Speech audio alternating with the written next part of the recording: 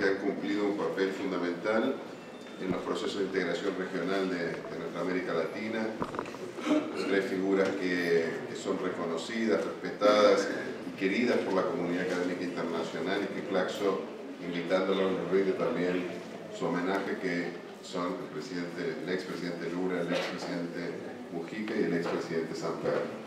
Tres grandes constructores de la unidad latinoamericana y creemos también que en el caso del presidente Samper estamos, el eje central de esta conferencia es la lucha por la paz, la construcción de una paz con justicia, con justicia social, con igualdad y, y naturalmente reconociendo todos los méritos que hay en el actual proceso de paz. No puede desconocerse los enormes esfuerzos que se hicieron que particularmente el presidente Samper cuando, eh, dirigió el gobierno colombiano eh, realizó y en este sentido también es un reconocimiento, presidente, al, trabajo, a los esfuerzos, al compromiso eh, en lo que hoy estamos avanzando y construyendo, ustedes desde Colombia y todos apoyando desde América Latina en este proceso de paz y los desafíos que se abren en el post-conflicto. Jorge Lara Castro nos acompaña en la mesa, otra gran figura regional, fue canciller, ministro de Relaciones Exteriores de Paraguay durante el gobierno del presidente Lugo. Es además un sociólogo, un compañero, un colega que mucho nos ha ayudado a pensar el presente, el futuro de Paraguay y de América Latina. Haremos, como hemos hecho en las otras conferencias, el presidente Sampen hará su exposición, luego Jorge realizará algunos comentarios. Una vez más, muchas gracias y muchas gracias especialmente a los que superaron a esa terrible competencia que tenemos en este momento, que es el partido que se está disputando. Me da un poco de preocupación decirlo porque por ahí había alguno que no se había dado cuenta y ahora se va. De cualquier forma, cualquier novedad que haya en el partido se la seguimos informando. Muchas gracias.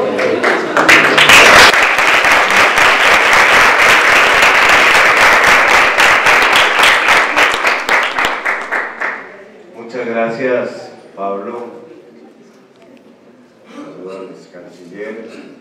A todos ustedes, voy a, en aras del partido, voy a tratar de hacer una intervención minifalda, lo suficientemente corta para mantener la atención de ustedes, pero suficientemente larga para cubrir todo el contenido. ¿Qué tiene que ver UNASUR eh, y la paz? ¿De dónde salió UNASUR? UNASUR fue una respuesta latinoamericana a tres fenómenos de, finales del siglo pasado. El primero, la quiebra del modelo neoliberal, que en desarrollo del consenso de Washington, que tenía mucho más de Washington que de consenso, creó una crisis social profunda a finales del siglo XX se generaron por cuenta de este modelo 180 millones de nuevos pobres latinoamericanos y tuvimos unas cifras de crecimiento absolutamente ínfimas. Fue una respuesta a lo que dejó el modelo neoliberal, que no solamente no creció, sino empobreció. En segundo lugar, fue el intento de mantener una continuidad democrática que comenzó desde los años 70 cuando este continente resolvió que el camino era el de la democracia y no el de las dictaduras militares. Y ese esfuerzo por mantener la democracia como sistema de solución de diferencias se ha mantenido por fortuna más de 40 o 50 años y en este momento podríamos decir que no hay ninguna región que tenga en este momento una tendencia hacia la dictadura o al autoritarismo y que las peores contradicciones se pueden y se deben resolver a través del ejercicio de la democracia.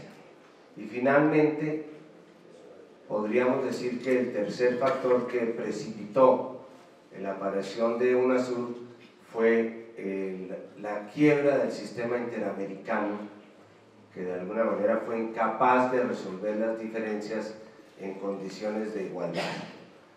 Tuve el privilegio como presidente de Colombia de asistir al lanzamiento de la famosa propuesta de las Américas que pretendía reunir la América del Norte, la América del Centro y la América del Sur. Y ese, esa gran oferta de las Américas terminó convertida en un archipiélago de tratados de libre comercio que no le dejaron a la región absolutamente nada. TLCs, todo lo cedemos.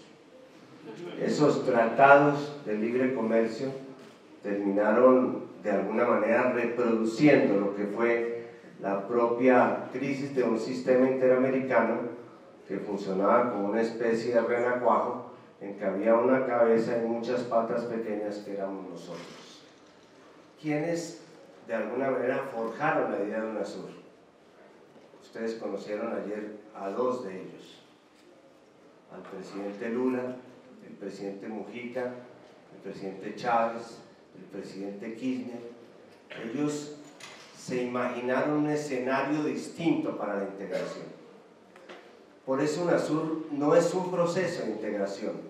UNASUR es un escenario en el cual nos encontramos como región.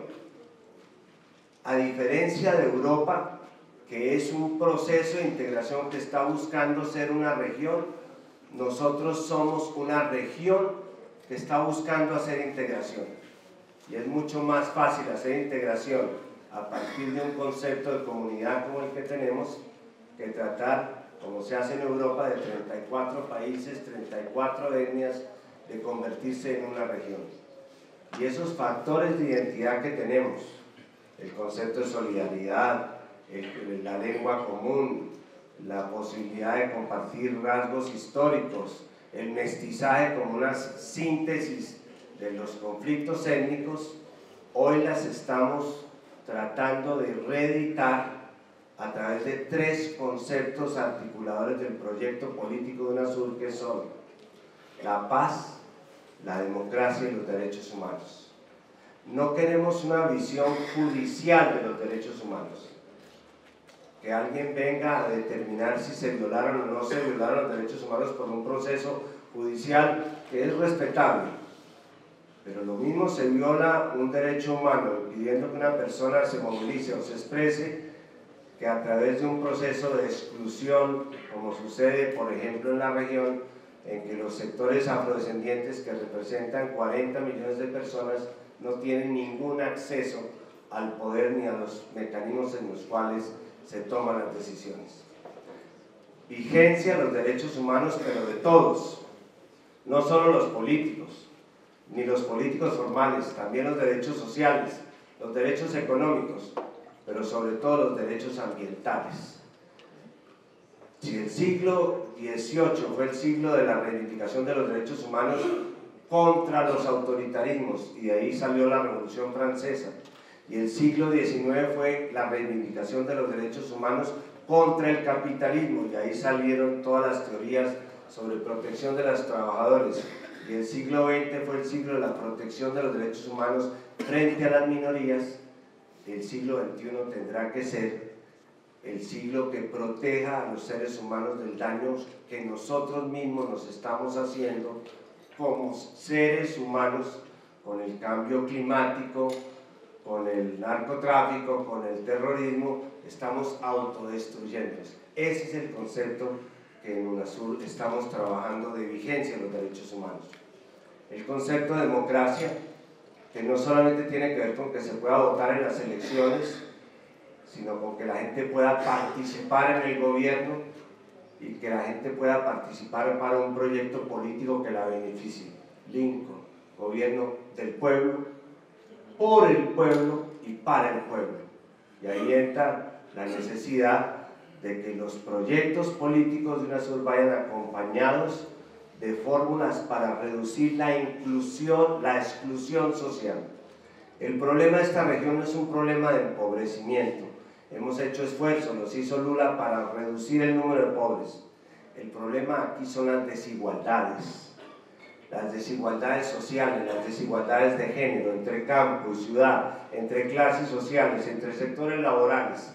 Esas asimetrías que son las que caracterizan el mapa social de Sudamérica son las que tienen que reducirse si queremos hablar de democracia en el sentido de legitimidad democrática.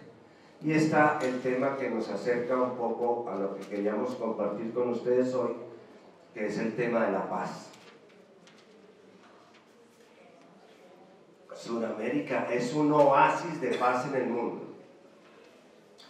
No es que aquí no existan conflictos, pero no tenemos guerras étnicas, no tenemos luchas religiosas a muerte, no tenemos conflictos propios de la Guerra Fría como los que se están viviendo en Ucrania, tenemos diferencias sociales que las estamos, las estamos resolviendo con unos movimientos sociales muy fuertes y con mecanismos de solución de nuestras controversias.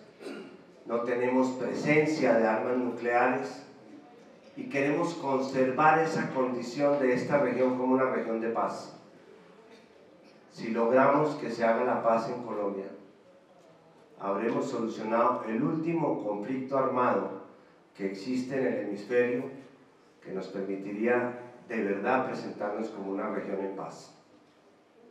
Por eso es tan importante para UNASUR lo que está pasando en Colombia. Miremos entonces, en segundo lugar, cómo va este proceso.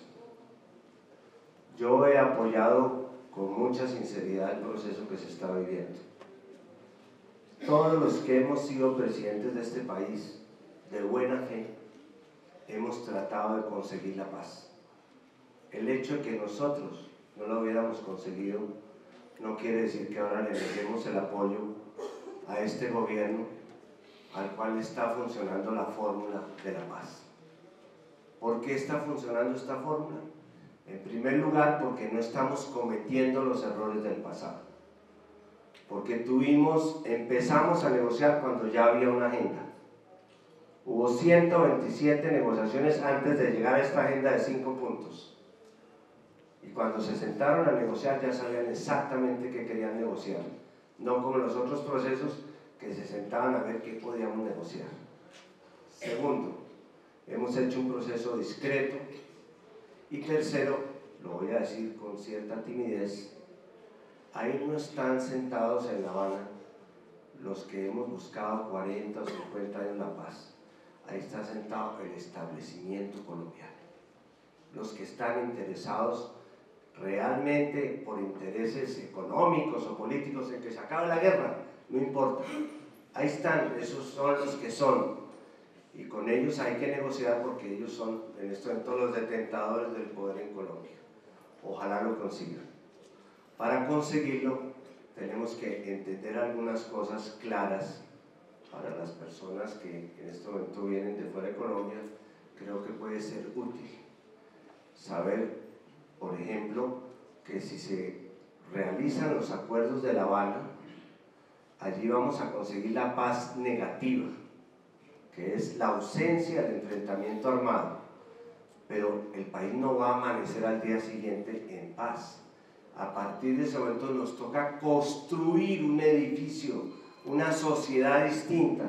Llevamos 50 años matándonos por nuestras diferencias. La violencia se ha convertido en la forma de convivencia social. Este es el país de Sudamérica que tiene mayor violencia intrafamiliar, mayor bullying en las escuelas, mayor maltrato de género. Todo eso es efecto reflejo de una sociedad que de alguna manera se acostumbró a vivir con la violencia y a solucionar sus problemas con la violencia. Eso debe acabar en el futuro cuando tengamos una sociedad reconciliada. Tenemos entonces que hacer los acuerdos, sí, pero pensar que a partir de ese momento vamos a atravesar un puente que nos pase del conflicto al posconflicto. no es que hoy firmemos y mañana amanezcamos todos en otro país. Va a haber una etapa muy difícil, que es la etapa en la cual va a operar la justicia tradicional. Por aquí anda el juez Baltasar Garzón, le rindo homenaje, aquí está, lo que pasa es que está más flaco lo que yo lo conocí hace un año, pero es un experto en justicia transicional, es un conjunto de normas que tienen los países para salir de una época de grave violación de los derechos humanos. Aquí hemos vivido una pesadilla de violación de derechos humanos. Pues bueno, para salir de esa pesadilla necesitamos aplicar esa justicia transicional que combina tres elementos. ¿Se acuerdan que uno en el colegio le hablaban de que el, el misterio de la Santísima Trinidad, tres personas distintas y un solo Dios verdadero? Aquí son tres elementos distintos, que es la verdad, la reparación y la justicia, y un solo Dios verdadero que es la reconciliación. Esta combinación inteligente de los tres elementos nos debe llevar a una sociedad en posconflicto. Por eso las discusiones donde si tienen que estar bajo las rejas o no tienen que estar detrás de las rejas, si debe haber impunidad o no debe haber impunidad, todas esas discusiones pertenecen a una concepción anacrónica de lo que estamos, eh, tenemos que construir, que es un concepto que nos permita a todos, a todos reconciliarnos, porque esta no es una reconciliación solamente de las FARC con las Fuerzas Armadas de Colombia, esta es una reconciliación entre todos los colombianos, entre las regiones, entre los sectores sociales y sobre todo es un intento para recuperar la democracia de los poderes fácticos que se han apoyado, que se han ido de alguna manera empoderando de la democracia colombiana. Los poderes fácticos de los medios, de los jueces haciendo política, de organizaciones internacionales que vienen representando unos intereses que no son los nuestros, todos esos poderes fácticos han prosperado sobre la violencia y sobre el desequilibrio que ha vivido el país. Entonces, de esos tres elementos, a las personas jóvenes, hoy estuve en una discusión muy interesante en Bogotá con mil jóvenes por la paz, de esos tres elementos, hay uno que a mi juicio me parece insustituible, que es la verdad.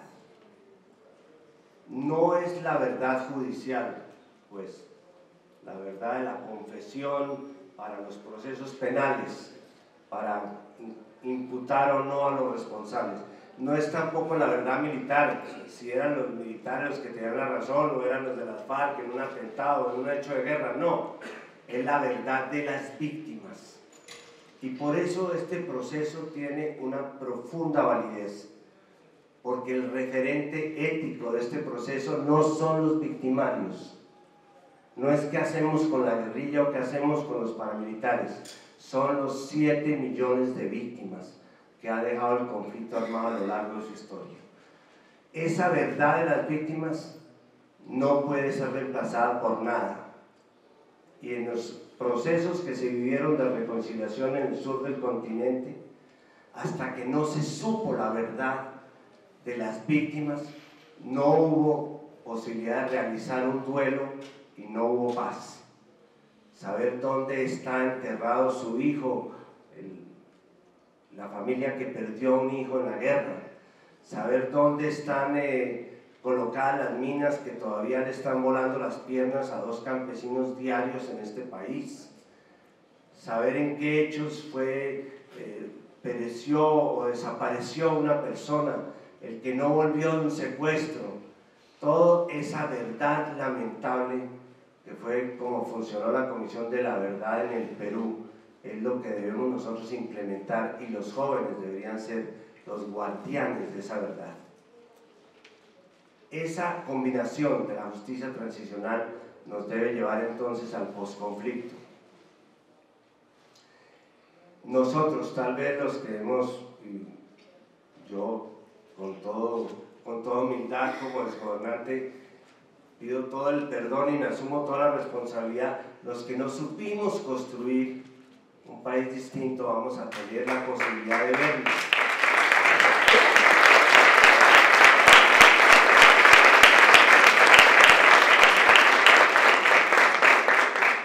Vamos, van, porque nosotros ya estamos de van a tener que reconstruir tres tejidos.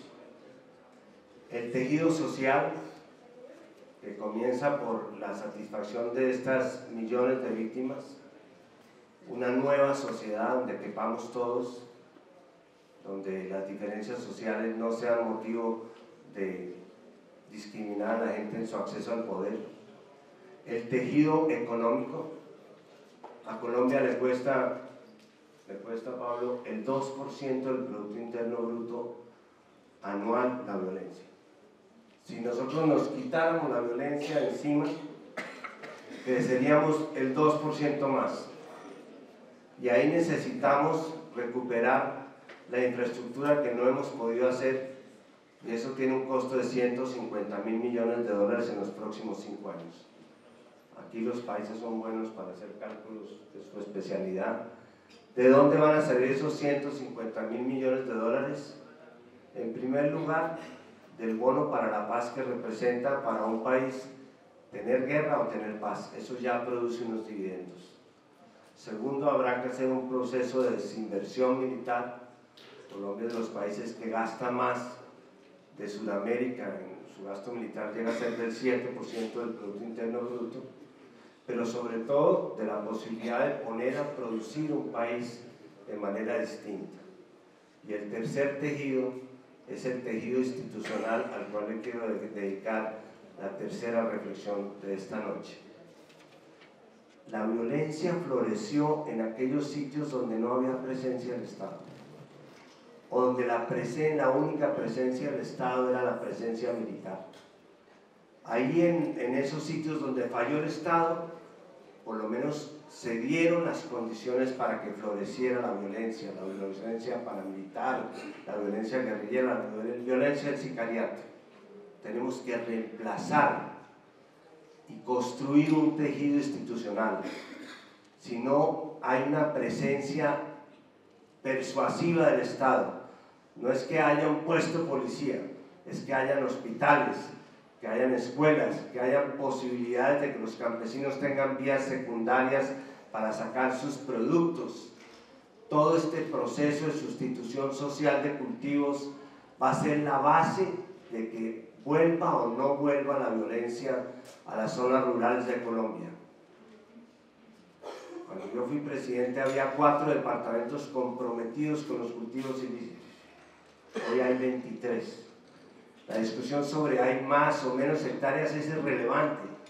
Hay 23 departamentos en los cuales los campesinos no encontraron otra forma de supervivir que un cultivo ilícito que es mucho más rentable que los cultivos legales.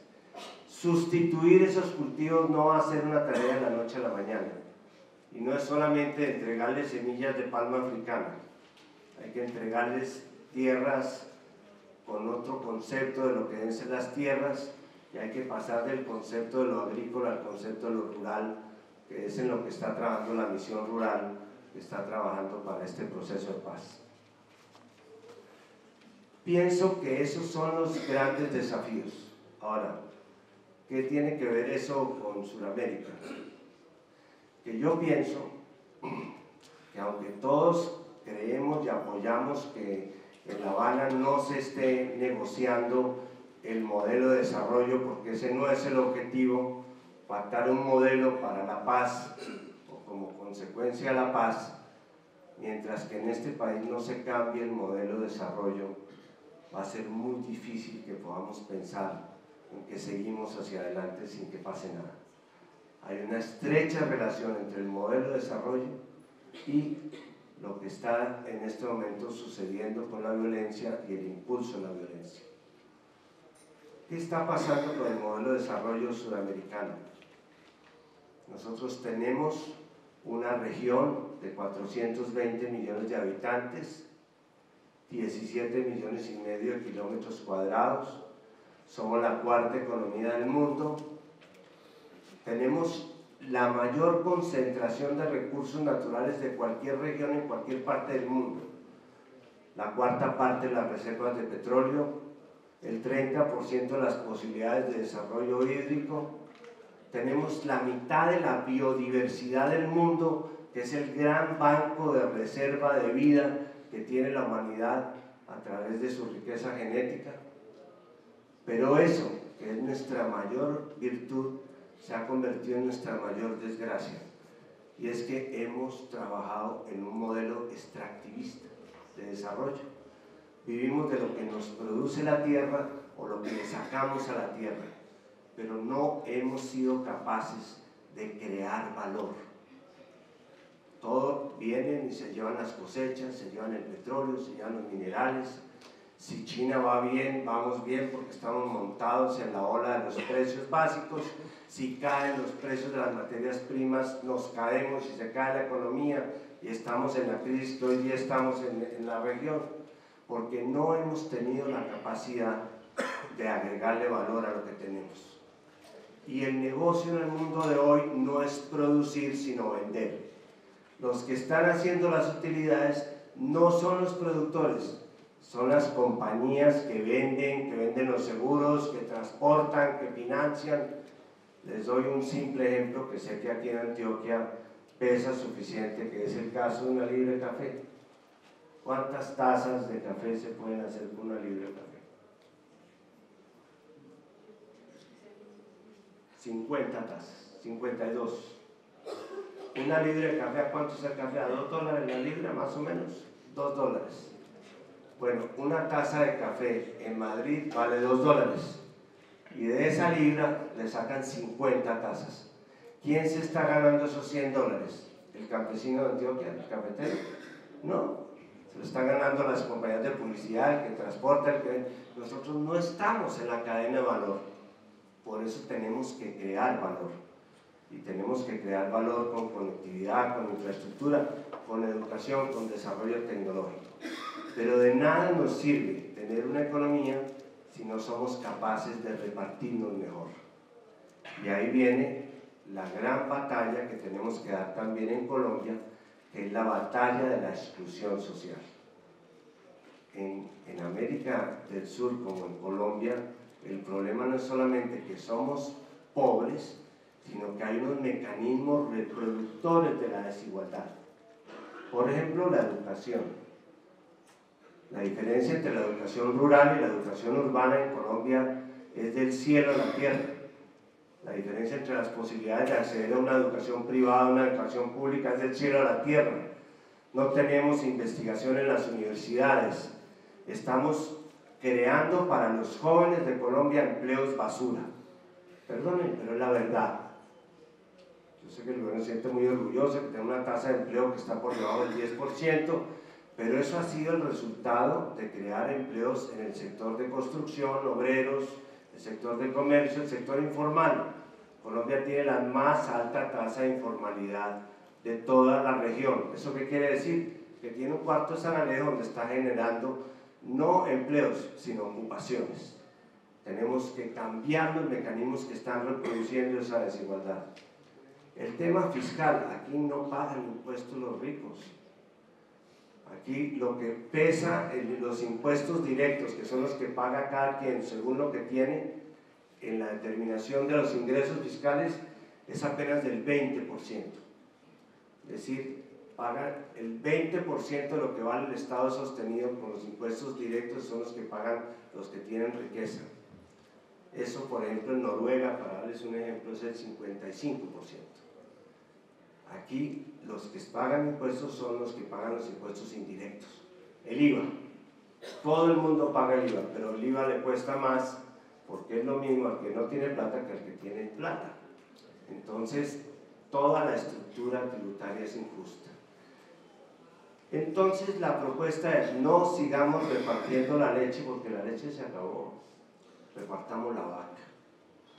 Y aquí hay que hacer unas reformas a la propiedad que comienzan con la propiedad agrícola, que es lo que hay que hacer, si se atreven, en los pactos que está haciendo sobre distribución de tierras en La Habana, hay que darle un apoyo distinto a las pequeñas industrias no que cada cual se salve como pueda y sobre todo hay que repartir más justamente la riqueza.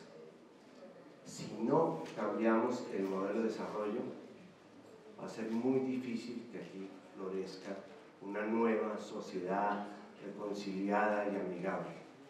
Ese lamentablemente es el mensaje. Tenemos, por supuesto, a través de la verdad, que erradicar el odio. Porque si esta sociedad no erradica el odio, no va a florecer la reconciliación. Tenemos que quitarnos el odio de los corazones, quitar el odio de las referencias mediáticas. Tenemos que volver a aprender a que el concepto de solidaridad es algo que nos puede unir. Y segundo, tenemos que cambiar el modelo de desarrollo, porque con este modelo de desarrollo no vamos a poder hacer florecer una sociedad igualitaria y en una concepción holística de la paz. Si no cambiamos el entorno de la paz, el entorno que generó la violencia, no vamos a poder conseguir una sociedad que realmente tenga la posibilidad de salir adelante. Aquí hay un pueblo que es el pueblo de Segovia. En ese pueblo, Baltasar, tiene el mayor número de tumbas de NNs que hay en cualquier cementerio de Colombia porque allí enterraron a toda la gente que no se sabía quién la había matado durante una época. Los primeros de noviembre hay una persona que aquí en Antioquia llaman el animero, que es el que maneja las ánimas, las ánimas van purgatorio y todo eso. Y el animero sale con una campana promoviendo que la gente adopte tumbas. Entonces la gente el 1 de noviembre va y le pone el nombre de su familia a una tumba de NN.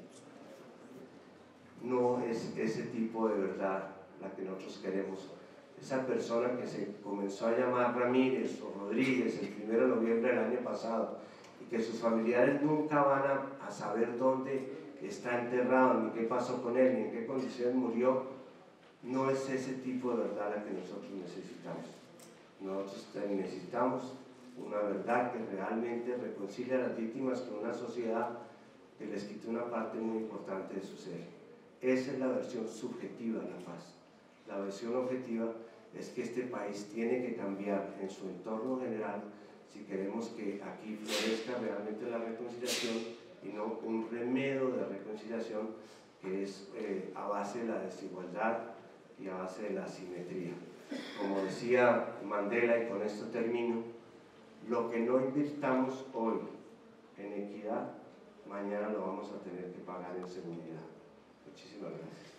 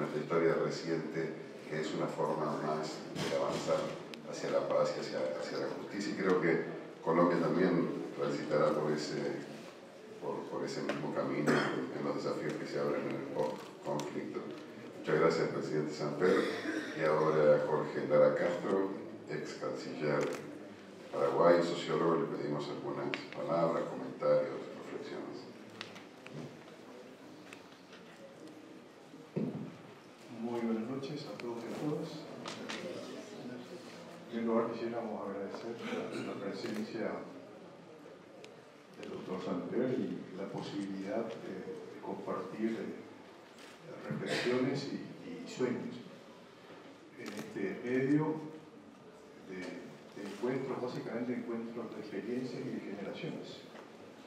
Y a eso también le debemos la responsabilidad de nuestro querido amigo Pablo, que se ha tomado el trabajo con todo su equipo de reunirnos a nosotros, eh, personas eh, con experiencias y fundamentalmente eh, una enorme convocatoria a, las juventudes sensibles de nuestra América. Eh, el doctor Samper inicia su reflexión sobre la base de por qué se crea el UNASUR. Y el UNASUR podría ser otra creación más de las experiencias de América Latina eh, después de prácticamente 200 años de independencia política. Pero sin embargo, los que forjaron la idea del Mercosur se inspiraron en varios pensadores del proyecto de construcción de nuestra independencia. Ahí podemos mencionar Simón Bolívar, la Carta de Jamaica, y fundamentalmente a José Martí, cuando reflexionó sobre la idea de la necesidad de construir un proyecto de nuestra América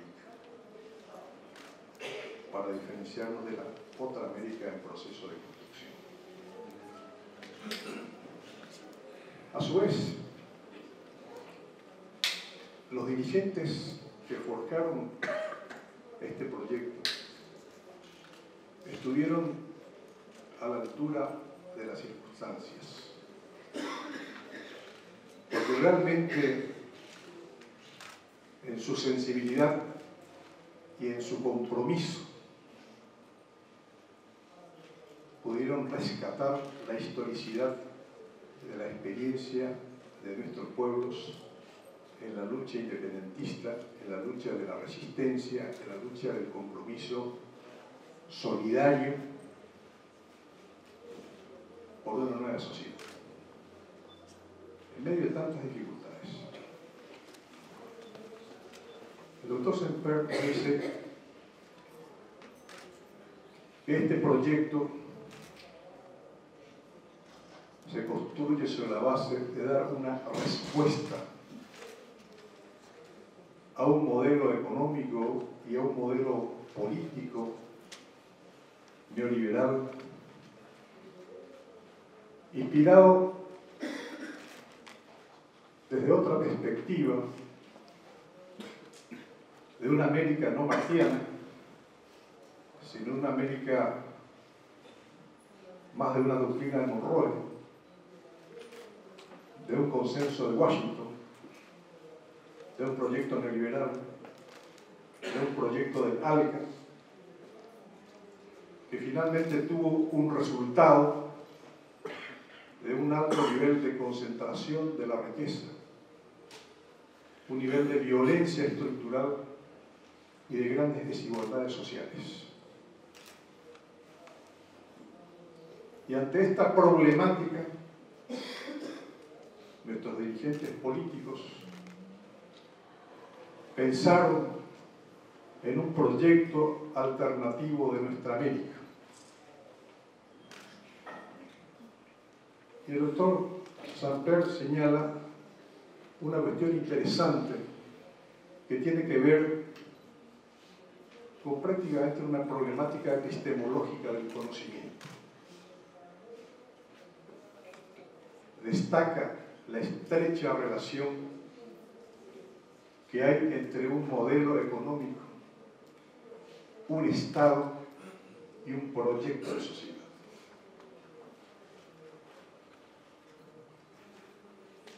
Pero a su vez, en esta relación del Estado y del modelo económico y del proyecto de la sociedad,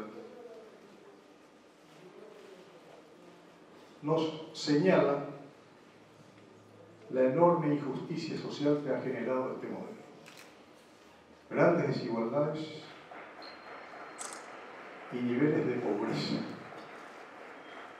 En un continente de una enorme riqueza, como él mismo lo señala, de una gran biodiversidad, de recursos como el petróleo, la naturaleza, la tierra, el agua, nuestras condiciones de experiencias humanitarias.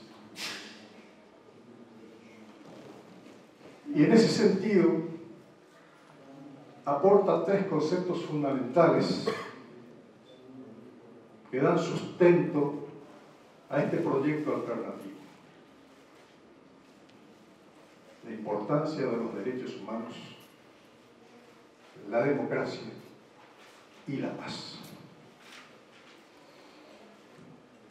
¿Y por qué tiene una importancia epistemológica? Porque también en el modelo neoliberal también aparecen estos conceptos. Y pongo énfasis en la idea de la apariencia. ¿Por qué la apariencia? Porque el concepto de derechos humanos existe como si fuera la defensa de los derechos humanos. La democracia, que costó tantas víctimas después de los periodos dictatoriales, también existe. Hasta las constituciones destacan que la soberanía radica en el pueblo. Y la paz no es otra cosa que la paz de las relaciones de la violencia. En el pensamiento de UNASUR se redefinen estos conceptos. ¿Y cómo se redefinen? En primer lugar, la violencia en sus formas tiene una raíz económica, social, estructural. Es la estructura la que genera una relación social de enorme violencia Imagínense cuántos niños se mueren diariamente por, falta de atención médica. Imagínense cuánta gente joven con toda la necesidad del trabajo y de su realización quedan al margen de, su propio proyecto por falta de condiciones, por falta de educación, por falta de recursos. Imagínense cuántas mujeres son víctimas de esta violencia. Imagínense cuánta gente no puede satisfacer las necesidades básicas de la alimentación. Imagínense cuánta gente no tiene acceso a la justicia. Entonces el término derecho humano existe como apariencia para encubrir la, esencia de la estructura de violencia estructural. También el doctor Samper nos habla de la democracia.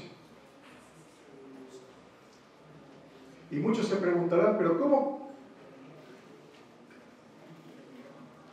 existe la complementariedad entre una, entre una estructura económica y social que genera estas profundas exclusiones y desigualdades, y por otro lado una democracia que teóricamente se basa en el pueblo, que elige cada cinco años a sus representantes políticos. Y sus representantes políticos durante ese periodo no apuestan a lo que dice la invitación, a transformar la sociedad lo que apuestan es simplemente hacer un recambio político. Siempre y cuando no se modifique la estructura de la base del poder que genera estas profundas desigualdades. ¿Y cómo funciona el aparato electoral? Simplemente, durante cinco años, las políticas públicas condenan a miles y miles de sujetos sociales y durante la campaña electoral lo transforma a estas víctimas del sistema en ciudadanos formalmente libres para que terminen legitimando otra vez la continuidad de estas políticas. ¿Por qué? Porque la democracia, así como los derechos humanos, se redujo a su expresión mínima. Por eso el doctor Samper señala la importancia de ampliar el concepto de derechos humanos sobre la base de la economía, la sociedad, los derechos de la salud. Y por eso es importante también, así como nos planteamos recuperar a nuestra América, también es importante recuperar a nuestra democracia. Porque el mecanismo tramposo está en separar al sujeto social que vive en su cotidianidad unas experiencias dolorosas, pero formalmente aparecen en tiempos electorales la igualdad jurídica. Y quizás esto explique por qué durante todo este periodo de transición, que costó mucho romper con esas experiencias dolorosas de las dictaduras, no produjo precisamente las transformaciones económicas y sociales, sino que a la vez sus dirigentes políticos se comprometieron más a reproducir las políticas globales en los espacios económicos y sociales. Por eso es que el ALCA también plantea mantener las fragmentaciones regionales a diferencia del UNASUR, que lo que plantea es ver cómo integramos, pero no por la vía del mercado, sino por la vía de la solidaridad, el compromiso y la responsabilidad compartida. El otro elemento que el doctor Samper nos señala es la importancia del Estado.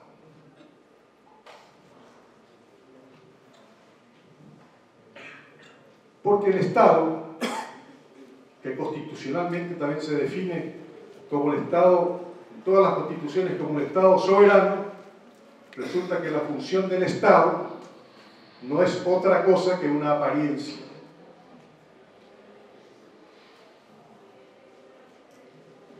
Hay un filósofo italiano que llamaría el estado de excepción.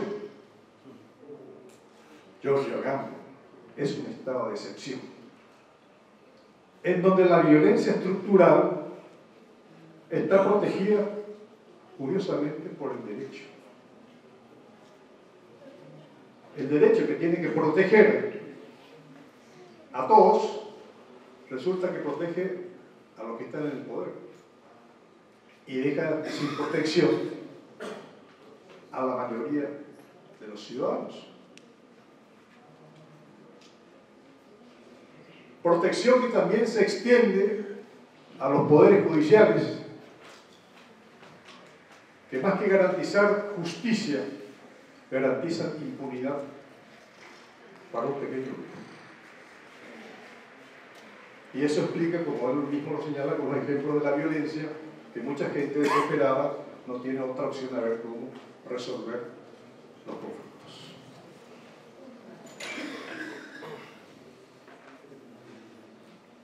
Finalmente,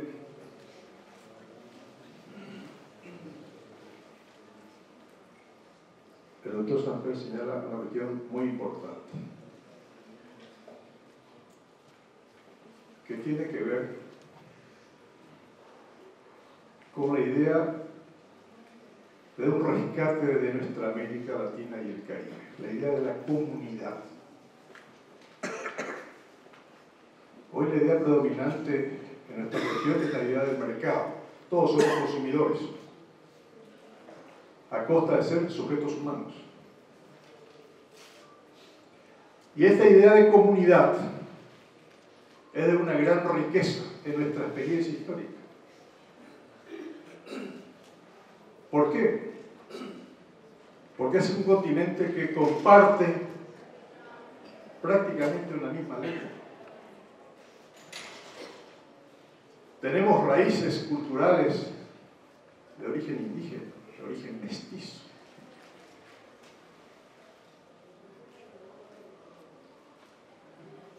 Tenemos hoy una experiencia de descubrimiento de la necesidad de integrar nuestros pueblos. Tenemos hoy la posibilidad de recuperar la soberanía. ¿Pero qué soberanía? La soberanía alimenticia,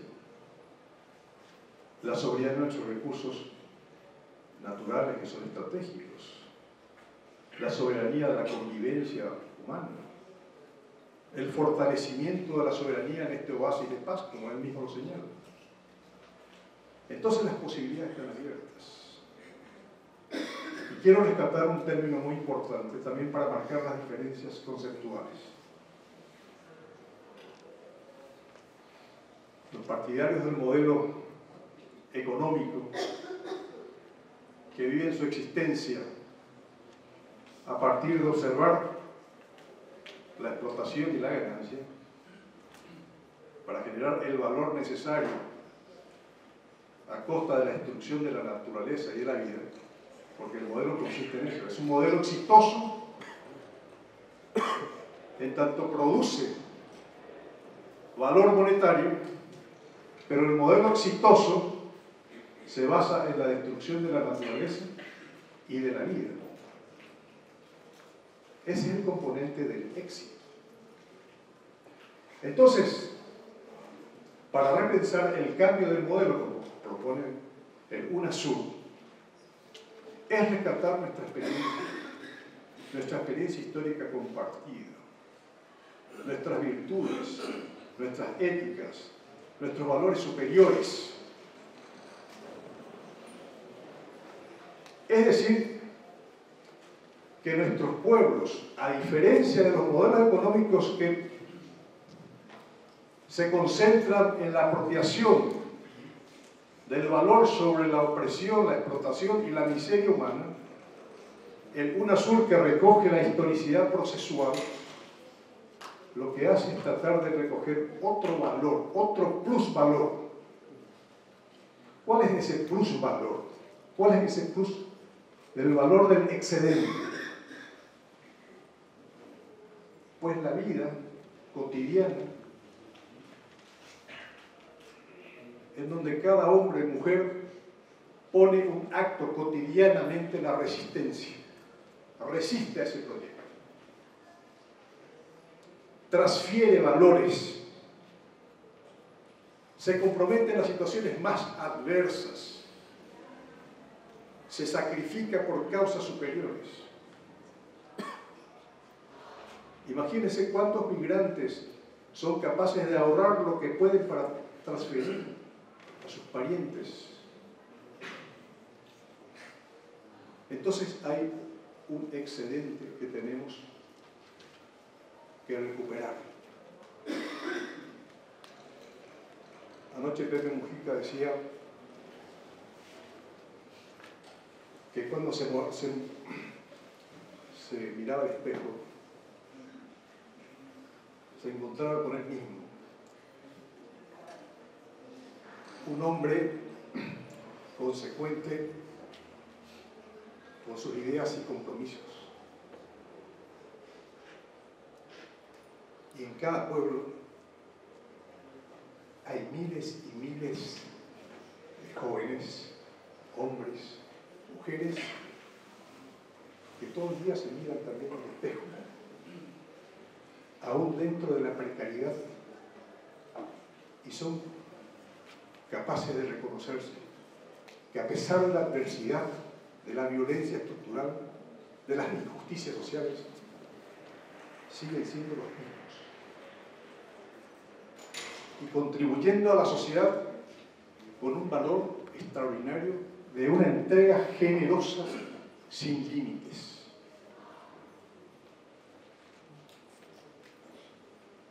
Así que si hacemos también un balance diferente, nos vamos a encontrar que nuestras sociedades tienen una concepción ética extraordinaria. Imagínense, por ejemplo, en nuestros países, en donde estamos agredidos por las multinacionales, empezando por los transgénicos, las semillas transgénicas. Sin embargo, en medio de esa, de esa desigualdad de fuerza, encontramos comunidades indígenas, comunidades campesinas, tratando de preservar sus propias semillas originarias. Que no es cualquier cosa, es proteger en pequeñas semillas la identidad de nuestros pueblos,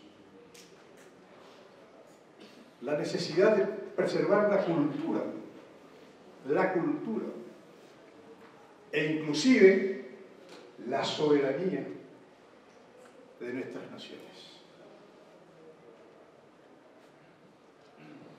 Cuando estos días participamos de estas experiencias colectivas, también tenemos otro valor agregado, que es el valor agregado de nuestros intelectuales. Intelectuales también sensibles que reflexionan sobre la práctica, la crítica y sobre las opciones. También tenemos estos, estas Por supuesto, cuando observamos también la gran participación de juventudes, imagínense, las juventudes son portadores de historia, del presente y del futuro. Cuando observamos la gran participación de mujeres, jóvenes, pues es estimulante. Hay una energía societal. Y todos estos elementos son importantes para alimentar la sustancia y fortalecer el esfuerzo colectivo que se concentra en el proyecto de la nación. Y cuando veo toda esta potencialidad que nos rodea hoy en América Latina, no puedo menos que pensar otra vez en José Martí, cuando decía que toda, toda la gloria del mundo cabe en un grano de maíz. Gracias, doctor. Gracias, Pablo. Gracias, profesor. Gracias.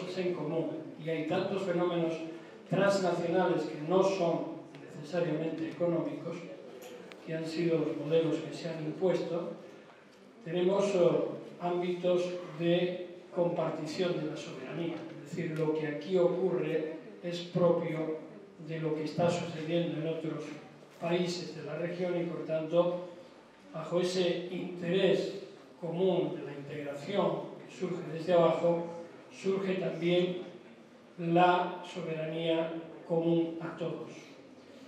También el concepto de la ruralidad frente al concepto de aprovechamiento agrícola tierra.